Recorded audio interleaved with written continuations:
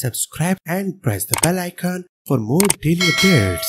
Maria Fux, she was an Argentine dancer, choreographer and dance therapist. She developed a dance therapy system in Argentina, later establishing dance schools in Argentina and Europe. His studio and training school is located in Argentina and there are training schools in his dance therapy method in Italy and Sao Paulo. In 1961, she participated in the short film Gillespina as a dancer. She died on 31st of July 2023, died in Argentina at the age of 101, cause of it's not known.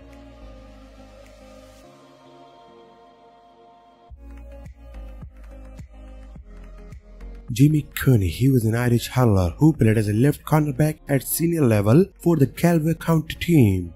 Cooney first arrived on the inter-county scene when he made his senior debut in the 1979 championship. Throughout his career, Cooney made nine championship appearances. His retirement came following the conclusion of the 1982 championship. He won an All-Ireland medal as a non-playing substitute. He died on 1st of August 2023, died in Ireland at the age of 68, died from cancer.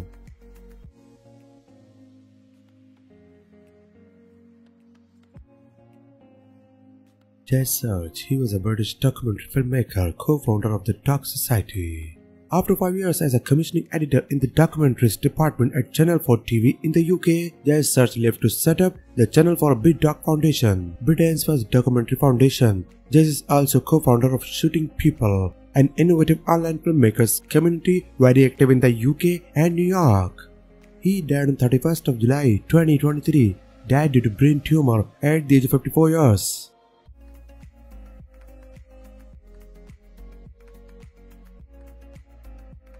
Marc Gilpin, he was an American child actor.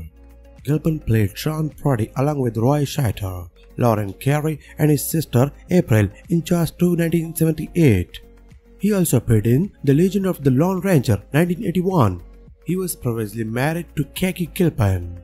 Marc Gilpin died in Texas, US on July 29, 2023 at the age of 56 years old, died due to brain cancer.